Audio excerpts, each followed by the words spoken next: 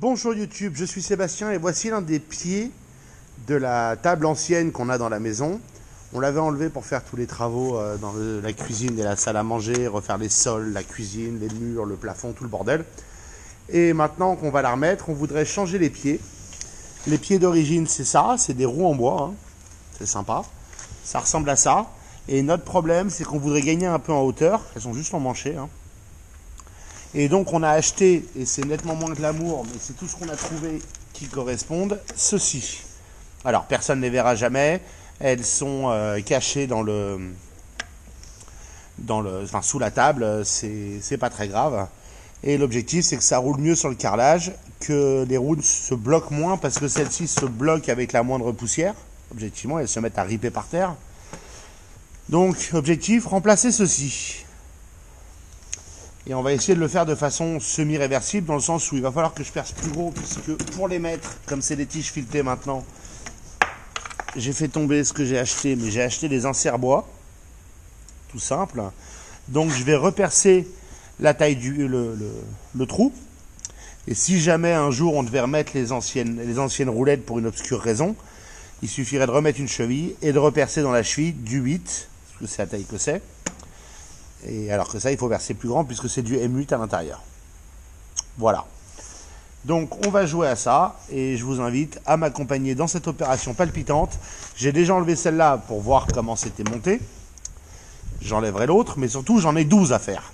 Donc je ne vais peut-être pas vous mettre les 12, on verra. Ou alors je vous les mettrai très rapide à la fin. Mais pour l'instant, je vais m'occuper de percer là et de mettre cet insert. Insert, le diamètre. Non, c'est pas possible. Le diamètre extérieur total, c'est 12,5 13. Bon, via coulis, c'est pas terrible. Donc, je vais pas percer à ce diamètre, évidemment. Je vais essayer en 9 d'abord, voire peut-être en 10. On avisera. J'ai donc percé en plusieurs tailles, d'abord en 9, puis en 9,5, m'apercevant que ça n'allait pas, et puis en 10 au final, parce que euh, ça n'allait toujours pas. Il a peut-être même fallu percer en 11, euh, ou peut-être même euh, en 11,5 ou 10,5, je ne sais pas.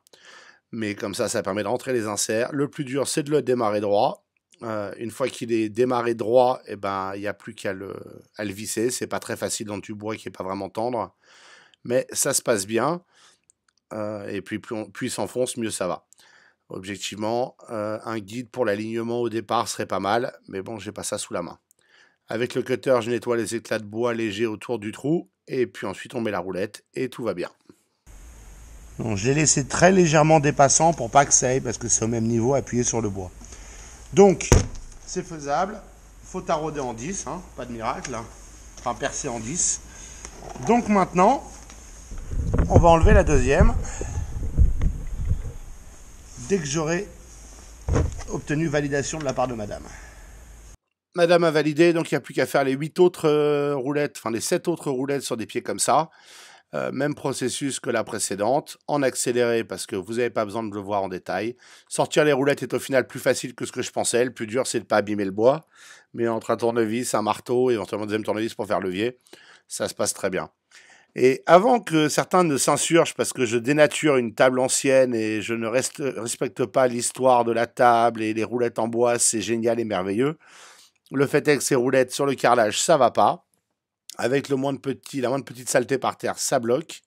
Et surtout, en plus, elles étaient plus courtes que les roulettes qu'on met, puisqu'ils rendaient le plateau trop bas pour être confortablement assis sur une chaise quand on fait 1m80. Euh, donc, si on remplace pas les roulettes ou fait autre chose, on, pourrait- a pu faire des cales à mettre sous les roulettes anciennes, bah, on se serait heurté à une table qui n'était pas confortable à utiliser. Donc, si elle n'est pas confortable à utiliser, bah, on ne l'utilise pas. Et si on l'utilise pas, elle finit dans une cave, un grenier, euh, peu importe, ou directement à la benne. Et dans tous les cas, elle finira à la benne, abandonnée, oubliée. Ou alors c'est une pièce de musée, mais euh, vivre avec des pièces de musée qu'on n'utilise pas, ça n'a aucun intérêt. La seule chose intéressante avec ces vieux meubles, c'est comme ils sont jolis, autant les utiliser. Et pour les utiliser, parfois, il faut les modifier un peu parce que euh, sinon c'est du gâchis et, et, et c'est pas plaisant et personne veut les utiliser. Moi-même, la table avant les nouvelles roulettes, elle me gonflait parce que j'étais mal installé. Elle était trop basse.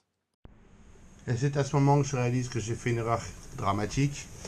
Ces pieds sont bons, hein, c'est pas ça. C'est le plateau le problème.